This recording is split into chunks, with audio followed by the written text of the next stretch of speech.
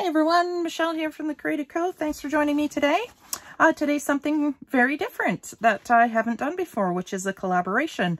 I was invited to do a collabor collaboration with Rach and Bella Crafts. Um, this is the kit that we'll be using, which is the Summer Bloom collection, uh, celebration, sorry. And uh, we're asked to use this kit to um, create some wonderful, fun, exciting projects. Um, so I was assigned the letter M. They hand out the letter. Uh, the collaboration is actually called A to Z of Inspirational Summer Crafts Collection. So I was assigned the letter M. And one of the things that we're uh, asked to do in the collaboration is to find inspiration from a previous YouTuber that we've watched or watched. In my case, I still watch her. Um, that inspired us to uh, take an idea they had and reinvent it or uh, redo it in our own fashion. And uh, so the YouTuber that I picked uh, that inspires me the most is Nik the Booksmith. Um, I love her work. I find her stuff very professional. Uh, she's very organized and very neat, which is the, the opposite end of the spectrum of how I work. So I find that very inspiring, how um, other people can work in such an organized way. And her results are very, very professional looking, which I try to aspire to. So uh, one of my favorite videos of hers is uh, this uh, accordion style press flower journal that she's done. Um, and I think she gets the idea out of a book. And I'll make sure to link her and the collaboration and all the details um, in the description box.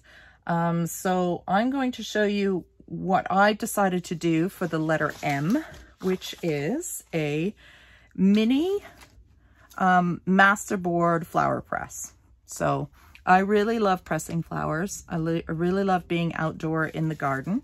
And uh, like I said, she does a version of this. It's bigger and obviously much neater and more professional than me. But uh, the idea behind it is this really cute little book that you can take with you. It's portable. You're using up scraps and uh, you press flowers in it. And uh, I thought this was really cute. And it's an accordion style, so you get you get both sides, right? So here's some flowers that I've pressed in this one, which I really love. So we are going to build that today. So mini, let me say it right, mini masterboard flower press. There we go. All right, so you are going to need um, some heavy duty, uh, what's this called, board. Uh, this is off the backing of my actual uh, watercolor paper pad. So I just recycled the back of it and I have cut it into um, 5 by 3.5 inches. I don't know what that is in centimeters, sorry. Even though I'm Canadian, I still use inches. and uh, we're going to cut, let's see, how many did I cut here? One, two, three, four, five, six, seven. We're going to cut eight of those by 5 inches by 3.5 inches. And then you're going to cut the paper, which is a cheap watercolor paper. Now, you, you don't have to use watercolor paper, but you, you want to use something that absorbs. I don't recommend paper towel because paper towel is textured and it leaves that imprint on the flower. Um, but you do want to use a type of paper that is absorbent. So mixed media paper would work, blotting paper would work, and in my case, a cheap watercolor paper, which is the, the backing here. So you can see I've used quite a bit of it. And you're going to cut the papers for this size. You're going to cut them four inches, four, sorry, 4.5 inches by three inches so that they fit neatly inside the book. And you're going to need two per section. So in this case, I did two, sorry, I can't remember, three, four, five, six, seven, Jeez, you think I would have had this ready? Seven, eight, nine, 10, 11, 12. Hopefully that's right. So 12, so you have basically two in between each of these folds. So I went ahead and did a bunch of these ahead of time so that the video is not 100 hours long. I'm going to keep the video about half an hour long because there's a lot of collaborators on this, as you can imagine, the whole alphabet. And there's some fantastically talented people in this um, collaboration. So I'll make sure to link that at the in the description and then you can um, check them all out and see what everybody's inspired, who people are inspired by. So for the, uh, I like to decorate them. It just makes a really nice little result in the end, um, as opposed to keeping them plain. And it's a really fun way to use up scraps. So in my case, uh, I cut up the the uh, Summer Blooms collection. They weren't my scraps, but I turned them into scraps. But it is a good way to use scraps. Um, and now I'm going to glue them down. So what I did was, I'm just going to get a little more organized here. What I did was I just sliced them up in random sizes. And then I went with my Vintage Photo Distressed Oxide and I darkened the edges. And the reason I do that is when they overlay in a master board, each section pops because it's got a, a nice rich border on the edge, which separates it from the color underneath. And I'll show you what that means in a second. So I went ahead and did a bunch of these because I did, again, I don't want the video to be too long. And I keep an envelope with my scraps. So if you're doing, if you have a digital collection and you've used sections of it, this is a great way to organize your scraps. So say one day you're busy wanting to be creative and nothing's coming to mind. Sometimes doing the prep work like this is a great way to um, be creative without producing a project, but preparation for future projects. And then I just take these once I've inked them and I throw them in an envelope and then they're ready to go. So let's have some fun here. So what I want to do is I just basically want to, they're all white, glue them down. And I'm just going to throw some glue on and I'm going to stick these down. And these digital papers are really quite beautiful. They have a, a nice range, but they're also kind of right up my alley with these neutral tones, which is what I like to work with. It kind of, again, has that really pretty vintage vibe that uh, appeals to me. So I was really excited to use these kits. I'm just going to throw glue on. So you can see how the edging of the ink really separates the two papers. And that's, um, that really kind of gives these, these masterboards some depth here. Let's see. And I just, I don't oh, try not to overthink it. I just want to glue and have fun with the paper. I don't want to uh, stress about how it looks in the end. It's really just using textures and layers and having some fun with it. So I'm just going to glue this down. I'll do another one here. Move that out of the way for a second. We'll do this one. And so it is, you know, one of the great things about YouTube is how you can be inspired by other artists see something they've produced, so in my case, uh, Nik the Booksmith's uh, flower press, and then recreate it in a different way. So in this case, I'm using, like I said, scraps, um, but you can use all kinds of different things. I think she used fabric in hers. You have to go check it out because um, her level of professionalism is really awesome. Like, a, I really love her work and she's very talented, like her, um, the way she uh, can bind books and things. She clearly has that as a, a career, I would imagine, where she takes people's books and fixes them like a really old book and knows exactly how they were built back in the day and can and can fix it. Restore it, I should say. Okay, so gonna let that dry for a second while I clip the edges of this. So I just take my scissors that are pretty sticky. Need to wipe them. Just clean up the edges. And then I want to make sure that all my edges around are are glued properly. Just take that extra second to make sure. And, and then I'm going to ink around the outer edge. Just to see that it's not stuck. So we want to make sure it's stuck. ink around the outer edge just to make all the color palette cohesive. And I apologize if it's got a lot of shadow in here. It's very early in the morning. I wanted to uh, film this before I went to work. Make sure I have the video ready to up and go on my scheduled date. All right, so that's that one. We can clip this one. And then there's another sheet here that I wanted to use. Is just another way of using up these sticky using up these um, digital kits. So I have a piece of uh, another piece here left over. Where did I put it now? Here it is. Which I thought was really pretty. And the fact that it's it's already layered um, has that look we're after without having to cut and do all the um, prep work. So let's, let's try one of these sheets. And then I'll show you a couple of those boards already finished, what they look like. So you can just throw that on like that, stick it around the edges.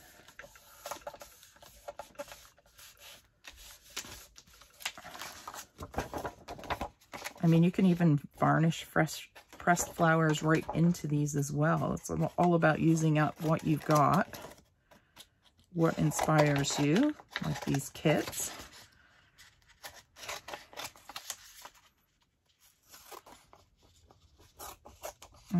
And there we go. So you still have that kind of stuck together segments and it, it was twice as fast because it's already done for you in that kit. So that's kind of nice. It's going to darken the edge here. And then we'll show you real quick. And then we're gluing these together. So here's some of the ones that we just did. I like that. I think I'll do that for the cover. And then again, just using these kits, sticking them down. And we've created some really pretty little boards. So this one here, for example, was just a sheet on its own. I thought it was so pretty, I just left it without cutting it up.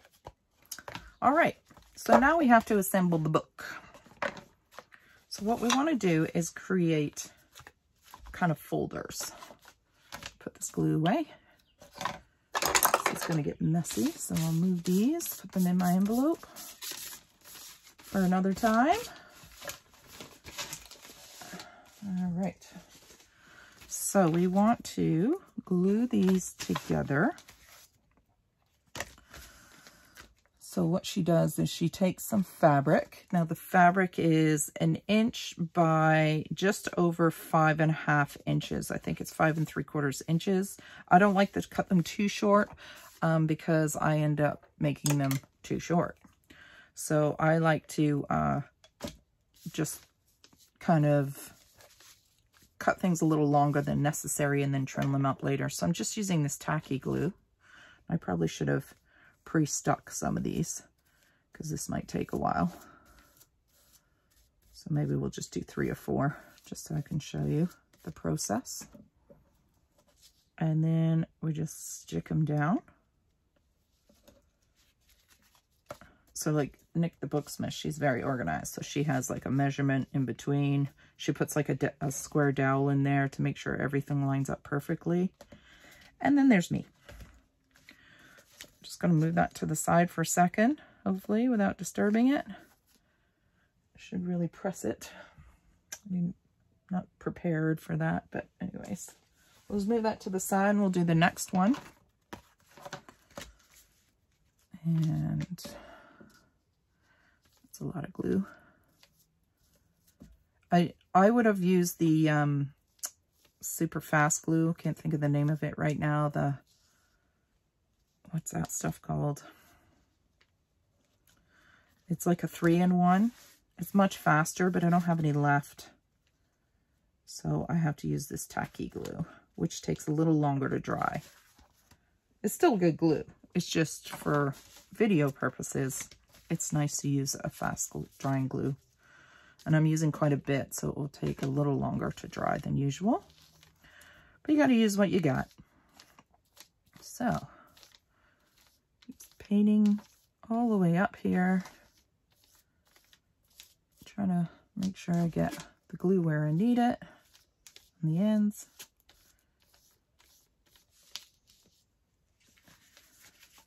do the one side, flip it over, and then stick the other one. Yeah, her table's like really neat and organized. I love it. One day, one day I might get there, but just doesn't seem to be my style. Ooh. So you can see I'm very messy But that's okay. That's kind of who I am. This here and flip. Oh, no, don't need flip. And then this. So you can see what these do is create that nice edge. So I'll bring them back here just to make sure they're gluing okay. And again, these are pretty wet. Like I said, I probably would have used a different glue for the video. The 3-in-1 or the super tacky, um, what's the word I'm trying to think of? I can't think. It's too early in the morning. Um, acetone. Acetone-based glue is what I would use for this. Okay, so there we go. So now we want to assemble the next section, which will be this here. So we we put the two that are glued down, and now we're going to glue one on top here. I think I might be short one piece of fabric by the looks of it. I might have made more, more squares than I did in my original. We'll see. And throw this in here. and then throw this on here and shove that into the seam allowance that we want, which is about an eighth of an inch, give or take. Don't need it too thick, a seam allowance. Let's just flip it over, it's easier. Um, you just want to make sure that the, the width of the board on either side has enough room to fold in on itself. So I'd say about an eighth of an eighth of the, an eighth of an inch between. I'm going to fold this up because it's starting to dry and they're not sticking. Now, if you don't want to use fabric, you can use uh, tape. You can use a heavy duty packing tape to, to make these hinges. See how they're not sticking well? But that's just because of the glue I chose. So I'm just to flip these before they all dry. Work with me. Work with me. Put the weight on there. Yeah, I only have the one fabric strip left. So let's maybe try some tape so you can see what I mean by the tape. If I can find the end. That's always the fun of packing tape.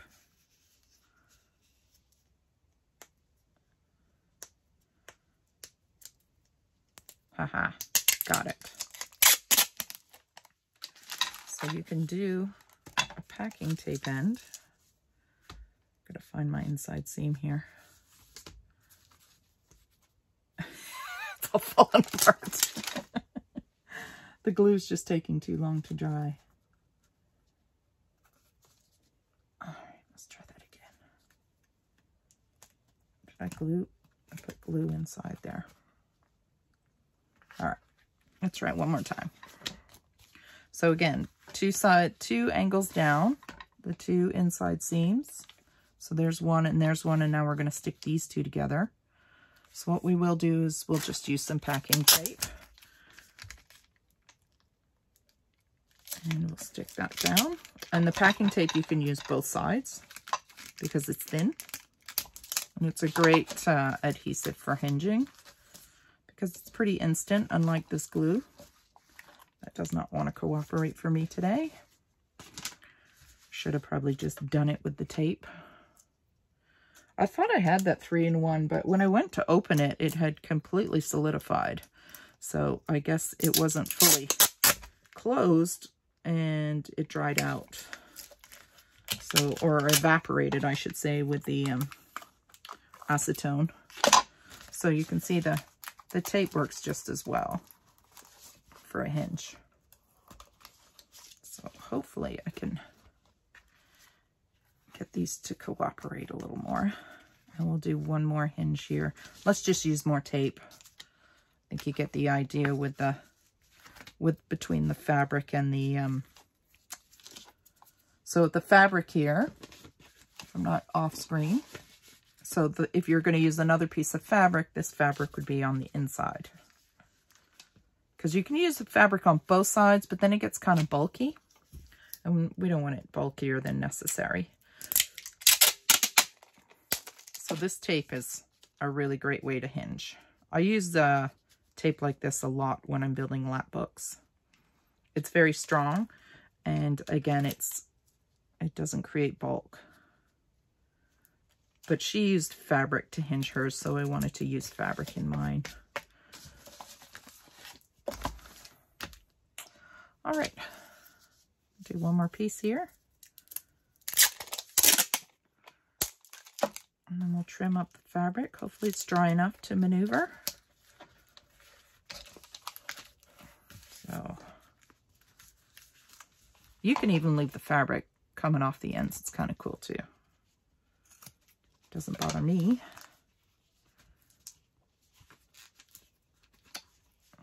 What did I do here now?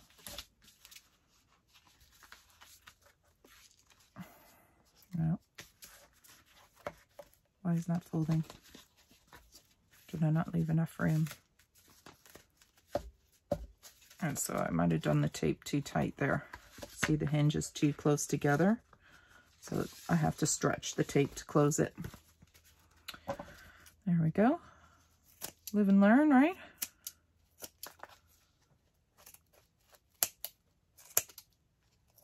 And I like the rough edges. I like frayed bits and things like that. I like it to look worn. So this one is not sticking well. So I'm going to remove this because it's not cooperating. And I clearly didn't think that part through when it came to the glue and how long this video needs to be. But that's okay. Tape saved the day. So I'm to put some tape on here and make sure I do leave at least an eighth of an inch.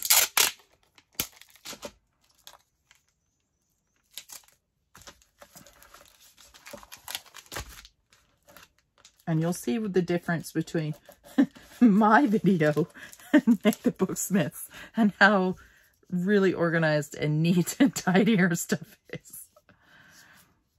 And that's why it's fun to watch so many different YouTubers and kind of see what inspires you. And not that I'm ever going to work neat and tidy like she does. It's just, it's not in my nature to be that organized.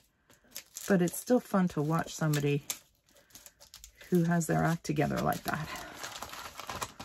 I'm going to have to get rid of this bag too. It's very sticky. All right. Okay. My scissors are even dirty now.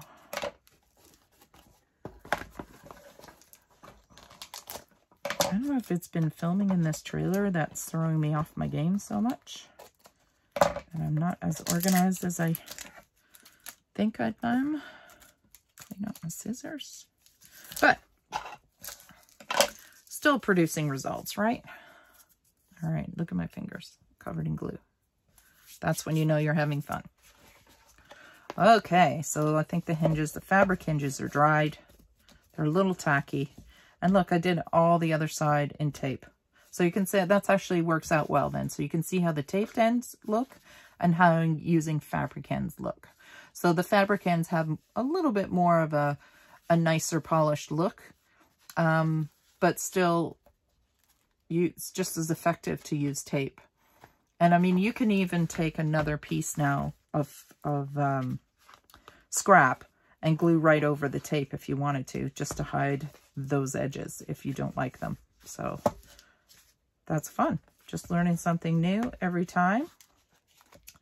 All right, so now that we've got our book assembled, we're going to put our paper in. So as you can see, it is an accordion style. That was the goal. So we're going to open it up and put our first two pages in there. So obviously you want to wait till the glue is for sure dry. So you don't want any glue on your paper. You want it to absorb the moisture from the flowers. And that's the whole point of this paper. The, the more moisture, the better quality absorbent paper that you use, the faster the uh, flowers will dry and the neater and flatter they will dry. So now I'm just going to open the other side. I love these little accordion books. They're just so much fun to play with. And I think what I did was add an extra piece because I'm two pieces short.